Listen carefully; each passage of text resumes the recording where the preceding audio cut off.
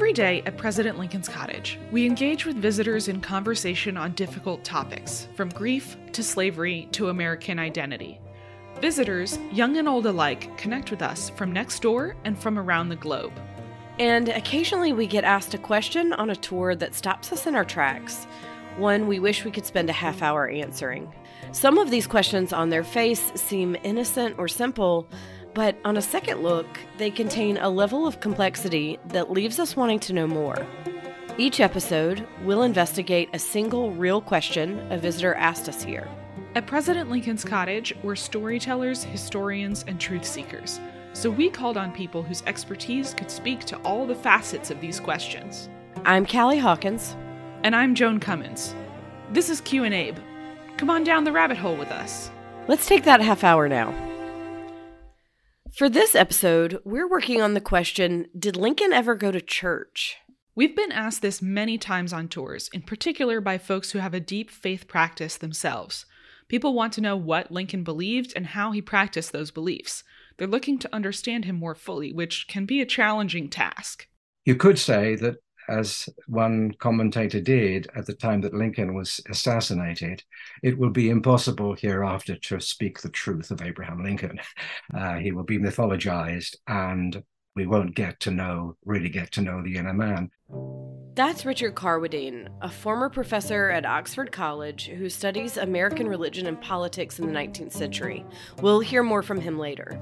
We also spoke with John O'Brien, the historian at New York Avenue Presbyterian Church here in D.C., who had one of the more straightforward answers to this question Did Lincoln go to church?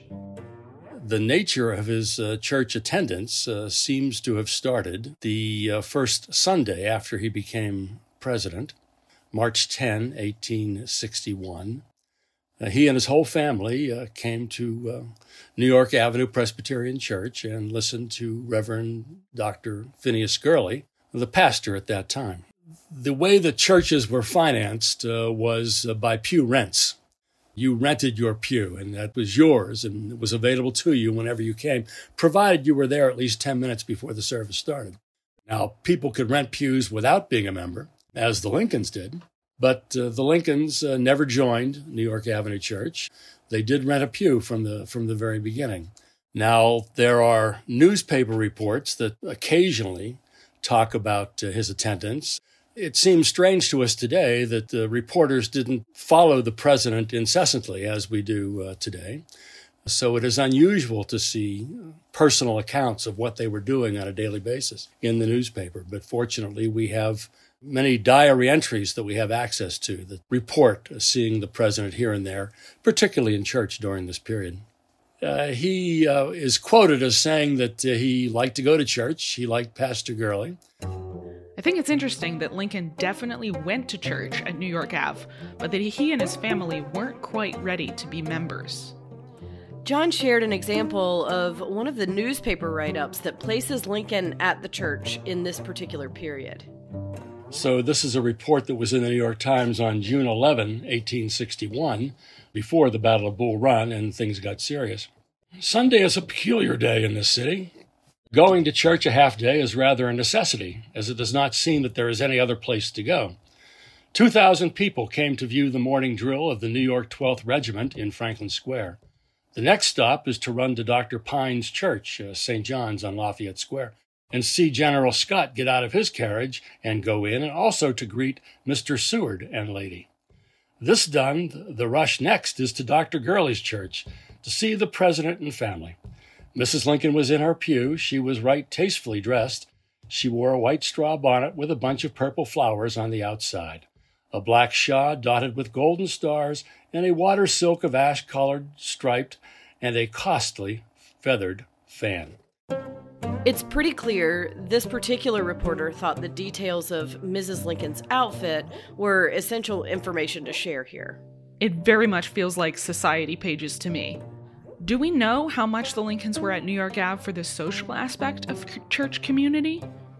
The people who would attend New York Avenue tended to be the upper crust, the elite of uh, Washington, D.C., who would live uh, around the White House, uh, not so much on Capitol Hill When Lincoln joined, several of his cabinet officers also joined. So this created this uh, social elite uh, clientele that the New York Times obviously got wind of and began to follow when they sent a reporter. It was uh, definitely a social strata experience. I don't think that Abe and Mary uh, did uh, much other social interaction around the church. Uh, they they treated the pastor and his family as the custom expected at that time. You invited them to your home. In fact, uh, the Lincolns uh, went to the Gurley's home at least twice. So that sort of uh, social interaction occurred. So, the Lincolns attended church regularly in Washington, D.C. Had that been true earlier in his life as well? Richard told us that actually Lincoln's approach to religion was very different as a young person. We start, I think, with Lincoln the boy.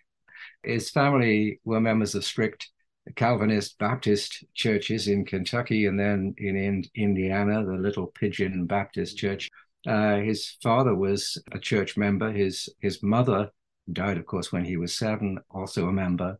And then his stepmother worshipped the same Baptist church. So they gave the young Abraham his first experience of, of religion. He was a natural mimic. He entertained other children by his mimicking the hellfire sermons almost word for word of the Baptist preachers. He would wave his arms around and he was reported as saying, When I hear a man preach, I like to see him act as if he were fighting bees. That feels like a classic wry Lincoln joke to me, and it tells me that Lincoln didn't have a great deal of respect for the religion of his youth. In fact, we know that as he got older, Lincoln began to explore other avenues, including some major periods of questioning. The young man, Lincoln, um, when he left home in Illinois uh, and made for New Salem, freeing himself from the hyper Calvinism of his parents, he's attracted to the writings of Tom Paine and other rationalist Enlightenment writers.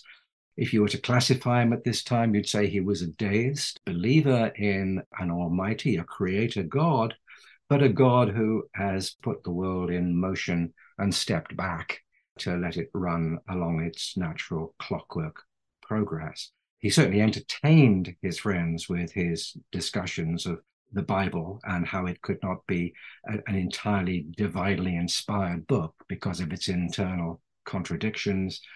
He questioned the divinity of Christ. I don't think you can really call him an atheist, but he's certainly not a conventional believer. And when people talk about him as an infidel at this point, they don't mean that he has no faith. They mean really that the faith that he holds is not a Christian Trinitarian faith. But in Springfield, for the first time in his life, he's in the company at times of preachers, of ministers who have been well trained, they're capable of engaging with his unorthodox views. And then, as a family man, after marrying Mary, he worships uh, occasionally, at least in the Episcopal Church.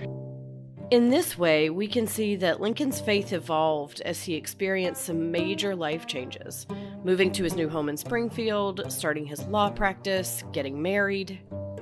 And then the death of Eddie in 1850, uh, the first uh, of his four sons to lose his life in youth. Eddie's death was a desperately uh, tragic occasion, and the grieving family find a lot of comfort from James Smith, the old school pastor of the First Presbyterian Church. And so they switch their membership from the Episcopal Church. And that changes. All of this changes really during the presidency. Understandably, you know, here you are with a strong sense of the personal responsibility for a, a war of massive grief, massive bloodshed, unimagined savagery he has trials much closer to home. He's the death of friends and close colleagues, then the loss through typhoid of his son, favorite son, Willie, in February of 1862. He's certainly now regularly attending public worship um, at the Old School Presbyterian Church in Washington, New York Avenue Presbyterian Church. Many conversations with the pastor Phineas Gurley, it absolutely makes sense to me that grief shaped every part of Lincoln's life moving forward, and especially his faith. And that brings us back around to what we heard earlier about Lincoln living in D.C. If the question is simply, did Lincoln ever go to church? The answer is yes. It's not so much his physical presence in the building that draws people to this question, though. People want to know what he believed in, what he valued, and whether his faith was the same as their own. How can we begin to understand this bigger picture? There are two aspects what he demonstrated and what he believed. Obviously, we guess at what he believed, but what he demonstrated in Washington was a uh, very different approach to faith and uh, piety than he demonstrated previously. The New York Avenue Presbyterian Church at the time of the Civil War was uh, old school Presbyterian. And that wasn't just a generic term. That was uh, that meant a lot. It meant that you were conservative. You were, as a secular matter, devoted to the preservation of the Union, but weren't so fussy about slavery. That was something that the God was going to take care of over over time in His own time. Right now, it exists, and therefore we accept it. But protecting the Union, the great secular miracle that God has worked, which was uh, the source of all our earthly benefits, that was important. So when Lincoln first came to um, Washington, his number one concern was preventing any further states from seceding. This was important for me to remember. If by did Lincoln go to church, we're asking, was Lincoln Christian? There's a secondary part. What kind of Christian? That's even more complex. There's, of course, a very long history of differences of opinion about what constitutes correct doctrine.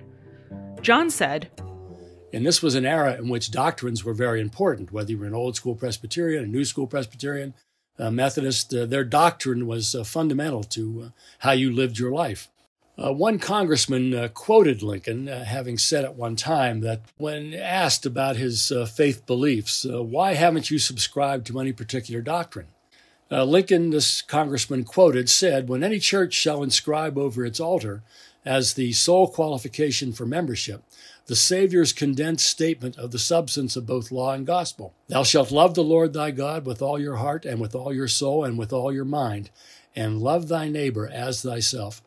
That church I will join with all my heart. Now, there's a lot of suspicion as to whether or not he actually said this, but my sense is that this accurately reflects his concern with accepting any particular doctrine that seems backed up by the famous or infamous quote where Lincoln says, When I do good, I feel good, and when I do bad, I feel bad, and that is my religion. This is one of the quintessential Lincoln quotes that has always particularly stuck with me, and as Joan can note, I brought this up with every interview we did. That's true. In the absence of a diary or similar to share Lincoln's inner thoughts, we have to look to what the people around him reported. As Richard explained, though, this seemed to confound them as much as it confounds us today. I think Lincoln kept his soul more veiled than, than most. At the same time, you've got those who knew him personally, on the, on the one hand, saying that, as did Noah Brooks, who knew Lincoln well and would have been Lincoln's secretary in his second term, he said he was certain that Lincoln had a saving knowledge of Christ and that uh, he was always talking of Christ and the cross and the atonement. The first biography of, of Lincoln by, it was Josiah Holland, wasn't it? Again, presented him as a true hearted Christian.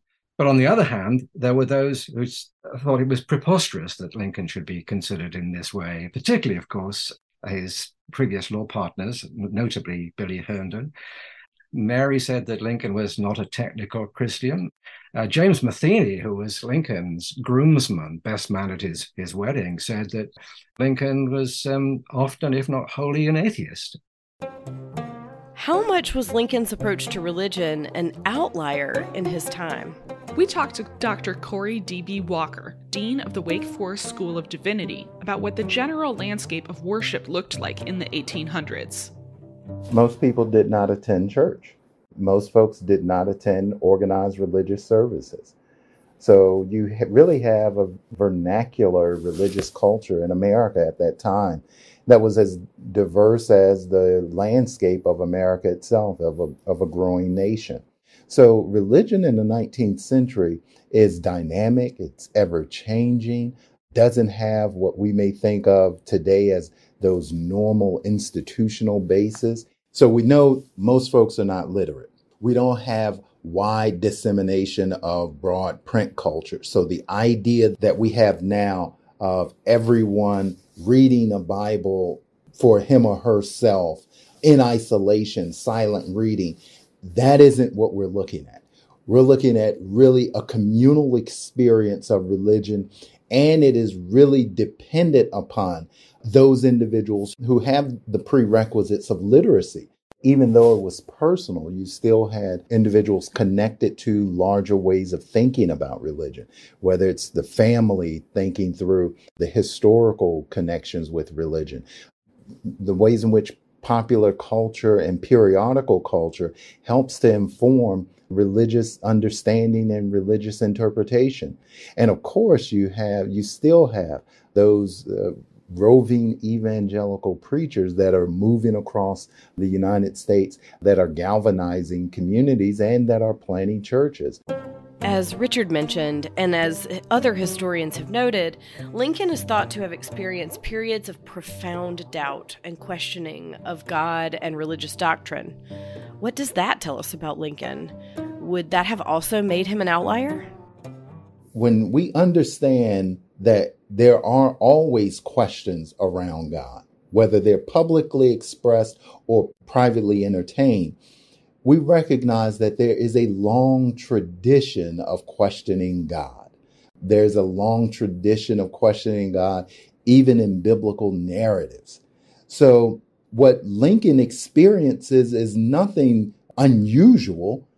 It is about the very nature of how we understand religion in the human experience. So, for Lincoln to engage in this conversation demonstrates the very humanity of Lincoln. It is not something extraordinary that Lincoln is doing. He's doing something very ordinary. Doubt is part of it.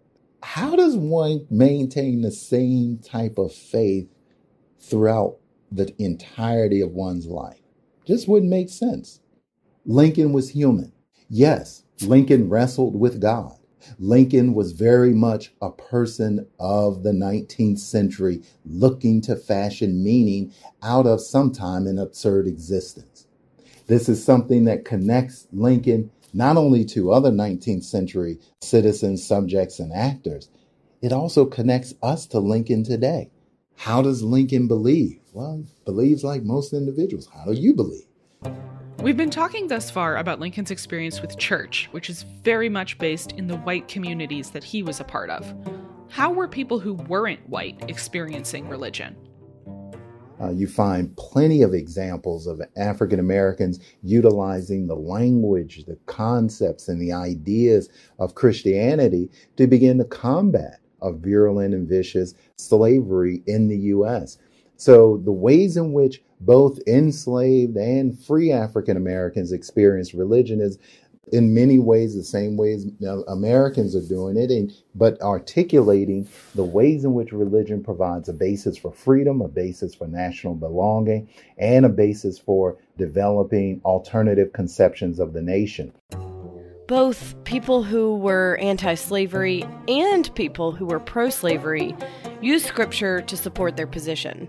Did Lincoln ever do this? He said in that's that famous letter that he wrote to Albert Hodges in April of 1864. I have never known a time when I did not think that slavery was a wrong. Slavery is a moral evil. So we can state absolutely categorically that Lincoln is a natural anti slaveryite. He has never seen the good in slavery. It's partly that he sees the economic injustice, but there's also a scriptural morality at work. He refers in his um, speeches in the 1850s to Genesis, to the book of Genesis, in the in the sweat of thy brow shalt thou eat bread. The person who does the sweating deserves to eat the bread that is earned thereby. It isn't uncommon to hear from experts or from visitors to the cottage that one major reason Lincoln talked about God or mentioned the Bible was because his audiences would have been expecting it.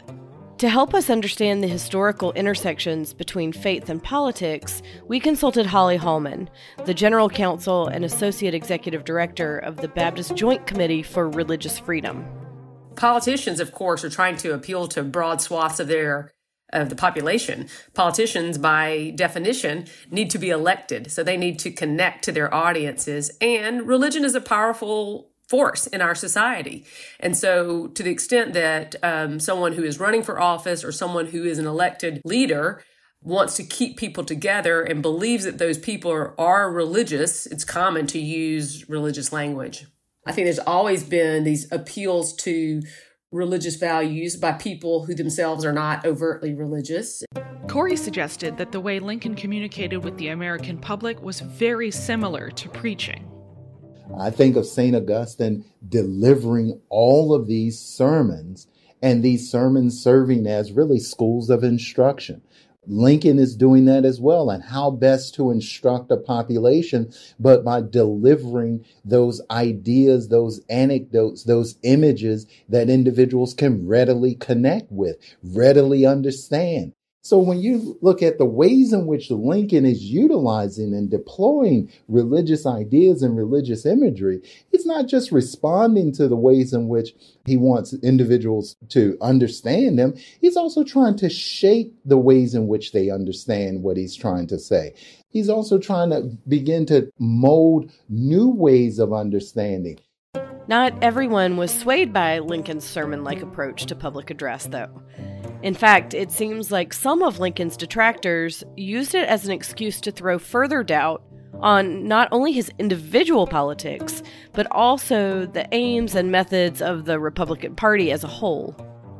If you think about the United States in the mid 19th century, overwhelmingly an evangelical Protestant country, probably four out of every 10 people were either church members or churchgoers evangelical Protestants of a, a, highly kind of what you might call progressive, radical kind, based in New England, that band of settlement is politically very important, and it, it's strongly Whig and then strongly Republican. Those Republicans, borrowing from Whigs the mantle of the Christian party in politics, are looking to the government either to create laws that themselves legislate morality or nonetheless create through the law the context within which moral behavior can be prosecuted.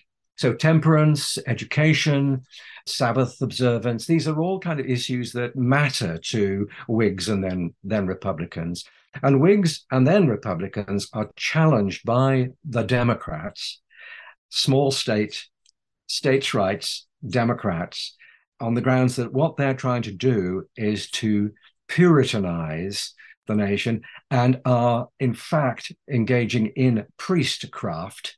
In other words, they are engaging in a form of politics which may not be the same thing as uh, creating a, a, church establishment forbidden by the federal constitution, but nonetheless creates a sort of church establishment by stealth, by cultural stealth. And the charge of priestcraft continues to be used during the Civil War.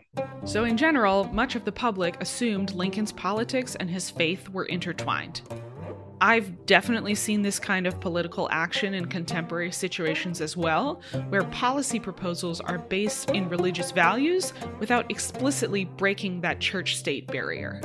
But why would it matter to people today what Lincoln's faith was, since they won't directly experience his politics. How come so many people want to know the answer to this question? I mean, when you look at the imprint of those early religious experiences on an individual, Lincoln or anyone else, they do inform and shape one's own subjectivity and one's own orientation. I mean, I think there's just a renaissance on Lincoln and religion at a time when we're wrestling with the very fundamental meanings of American democracy. We're wrestling with the emergence of a very prominent and very potent religion in the public square in our nation that has the power to divide. So, our interest in Lincoln and how religion shaped him can serve as a refraction uh, or a reflection of our own preoccupation with the role of religion in our contemporary moment. Holly added, Well, I think the religious views of our presidents, to the extent that they can be discerned, give us some kind of insight into them. And we want to know who they are. We want to feel good about our leaders.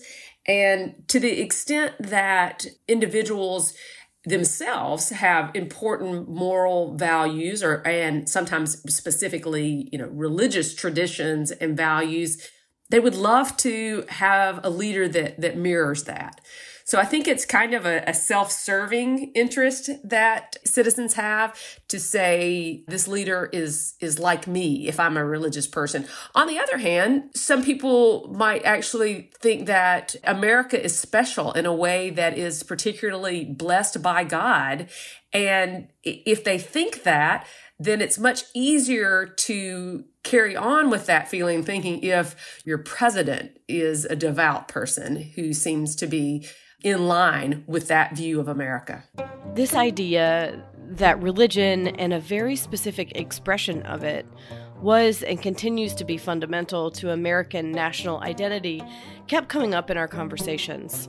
I think at least partially because Lincoln's presence is so iconic in our understanding of what America is. Richard explained from a historian's point of view why it would be essential to have religion as part of the discussion. Without understanding Lincoln's faith, we do not understand two absolutely central elements of the American Civil War emancipation and nationalism. Lincoln molded the emancipation policy and he furthered the policy of nationalism and of restoring the nation with the enormous support of communities of faith. And then, Holly helped us make the connection between the historical context Richard gave us and how Christianity manifests in American politics today. Well, I think the problem of religious nationalism is something that has always existed. And as you know, there are different examples of it throughout history and around the world. So, the specific phenomenon of Christian nationalism, which is the kind of religious nationalism that occurs in this country, is also something that has risen and been less prominent at different times in our country's history. And recently, we've been very concerned about a rise in Christian nationalism, uh, particularly a kind of rhetoric that calls on religion in a way that confuses America's tradition of religious freedom for all with the idea that a lot of people in America are, are Christian or identify as Christian. As we noted, the numbers are changing, that there's a lot of religious diversity, and that's not something that should scare Christians. It's just an example of how our religious freedom tradition works. Holly and her team have done considerable work to understand this phenomenon. Here's their compiled definition. We define Christian nationalism as the merging of one's religious identity and their um, identity as an, as an American citizen. So, not separating these these kinds of understandings of oneself. And it's a problem because it's directly at odds with the idea that we are a country devoted to religious freedom for all. And so that being a good Christian is not the same as being a good American. And being a good American does not require you to be a Christian, much less one that adheres to a very narrow set of particular issues or beliefs. It often involves a certain strict identity of who is a, a, Christian and you know wrapping these ideas these religious ideas and political ideas all together and really relies heavily on a kind of us versus them mentality. We also can see that some people might perceive some people might describe a president as Christian when they see him or her on their side Holly explained that this us versus them mentality, in addition to causing someone to describe a president as Christian because their political views align, rather than based on the candidate's actual religious practice, often also causes people to draw strict categories around other races, classes, or ideologies and place them firmly in the them or not one of us category. Like so many of the things we've talked about for the show, this reaction seems rooted in fear. It's such a strong emotional foundation for action. Is there anything we can do about it?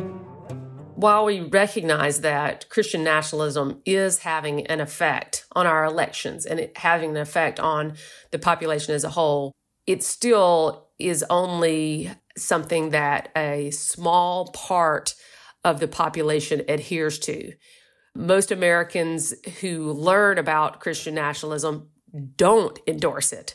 Most Americans, as they think more about it, they want to root it out of them because it is at odds with the kind of religious freedom values and broader values that America likes to claim and hold itself out as supporting. So while Christian nationalism certainly has is having great influence, I would say that recognition of the strength of America's diversity, concerns about justice and our need to grapple with the complexity of history and the great wisdom of religious liberty for all are also very powerful forces that we should hold up as something that can hold our country together. What we've tried to do in our work at BJC, and particularly our project on Christians against Christian nationalism, is to get people to stop and think about who they are as individuals, what makes them a, a person with regard to religion, what their religious practices are, how they identify, what that means to them. And at the same time, to recognize who they are as parts of the political community and how they are not the same thing. And so that when they talk to their other friends and neighbors in that political community, they can all live and work together because they are joined by this in, in this civic community, this political community that does not rely on anyone's particular religious affiliation and beliefs and practices.